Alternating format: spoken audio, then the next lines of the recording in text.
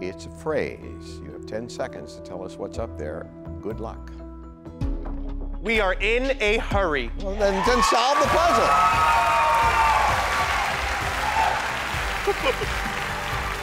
Let me ask you something. You uh, you already got the cruise. You're happy about that? Yeah. Would you like some confetti? Is that good?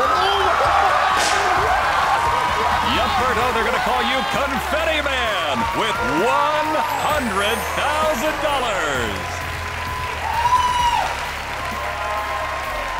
My gosh. Oh my gosh.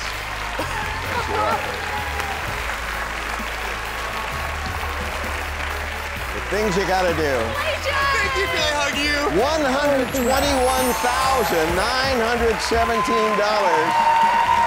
Congratulations. Nice So going. much.